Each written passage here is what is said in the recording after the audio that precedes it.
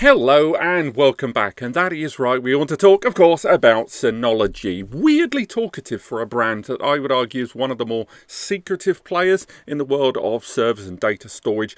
They've kind of come out guns blazing in advance of their Synology Solutions event happening in Taipei uh, on the 4th of June uh, 2024. And given that they've been relatively quiet, I think it's nice that we're able to sort of pause through some of the solutions they're going to be talking about at this event. And this video, nice and simple, is going going through some of the stuff in that video. And hopefully when I'm over in Taipei and recording this on the day that I fly out, we're going to sort of get hands on with some of this. And the first thing that became abundantly clear with this early kind of teaser video they put out was this whole idea of a new data protection appliance. Again, as you can see there on screen, the Active Protect uh, platform there. This is going to be a kind of new endeavor for them, and hopefully we're going to get hands-on with this. But this seems to be uh, maybe a divergence from what we're seeing of their existing platforms. They're even showing off some dedicated rack mount solutions there we can see later on in this video, and they're talking about kind of multi-site overview. It's going to be interesting to see how that materializes in reality. Is this a single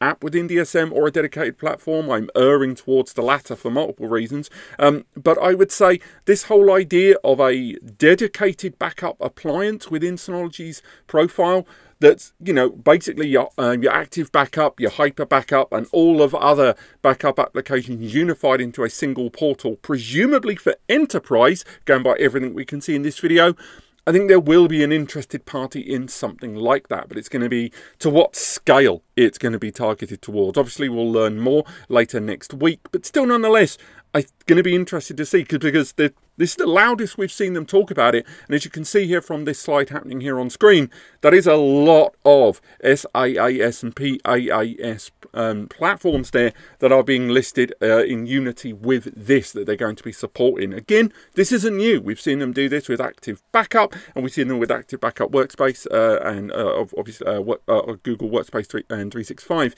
But still, we're seeing lots of those buzzwords. We're seeing, you know, Write Once Read Many there. We're seeing that um, uh, uh, unified workload protection being highlighted throughout the course of the video. So clearly, once again, there is that enterprise scope, which does make me worry that there isn't going to be anything for the middle to the lower tiers at this event, given that Synology are clearly front loading uh, the presentation of this event with the enterprise stuff very early doors. Now this was followed up by this new scaled out storage platform. We already saw that large 60 bay system and this seems to be a further evolution. We're seeing uh, this is going to go up to a 96 node build, um, kind of scale out storage there. So imagine up to 96 storage devices. We've even got that part number there, a GS6200. And again, a new uh, product ID and a new SKU from them rolling out that seems to be dedicated to this new scale out series, the GS series. And it's stating that each of those clusters, so that's cluster of those GS series devices, can scale up to 20 petabytes there. Now, again, we are talking large scale drives, almost certainly Synology's own um, hard drive or, uh, sorry, a SATA or SAS drives there. But again, they're clearly aiming for the skies. And it, this goes even further when we look at these integrations with the Scale Out Collaboration Suite uh, slide here we can see. Now, why is that? We already talked about this last year about Synology dabbling with AI. We saw it at their Solutions Expo in Taipei in 2013, and now we're seeing it looks like a more formative application of that within their uh, collaboration suite of applications. Uh, we can see uh, Synology Office on there, we saw Mail, and indeed Chat, the new Gen AI integration there. Again, your ChatGPTs, your, uh, your Google Gemini, your stuff like that. And now we're uh, hopefully going to be seeing how this is visualized, not just simple question answers. I want to see how it's going to be implemented into the Synology platform, how um, you're going to be able to turn it off, turn it on, to what extent it can be used, and of course, privacy and the data concerns of the data that you own being managed. Obviously, this is going to require an internet connection, so it's going to be interesting to see how that's going to be played out in its eventual implementation into these DSM applications. And next, surveillance. Synology have always had a very confident pl platform there with their surveillance solutions in NAS. And then, of course, last year we saw them rolling out two and then eventually three different cameras. And this is something a lot of us already predicted.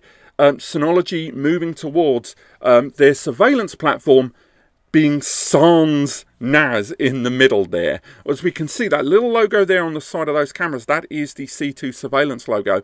And as we can see, and it's further emphasized more in this uh, in these slides, the idea of these cameras no longer requiring the Synology NAS in the middle. Direct um, recording there to the Synology C2 platform there. So uh, how that's going to play out, whether it is we're playing with a VM, whether it is that we're playing with um, just direct footage like third-party cameras we've seen out there, I have to be wait to be seen. But again, remember, it's going to be Synology encrypted, you know, beginning and end, and they've already established a lot of this workflow with C2 surveillance as it is. Um, how much of this it looks like it's going to be integrating other software as a service platforms um, into it and taking advantage of those, edge AI services that a lot of their newer cameras have, and how much of that will transfer over to the cloud side. In theory, all of it, but it will be interesting to see if on the server side you are dealing with a deep video analysis system when you do enter into surveillance remote recordings without NAS in the middle all in all, it looks like they are once again doubling down on enterprise level um, items within their portfolio. So it's going to be interesting to see one when we're at the event next week.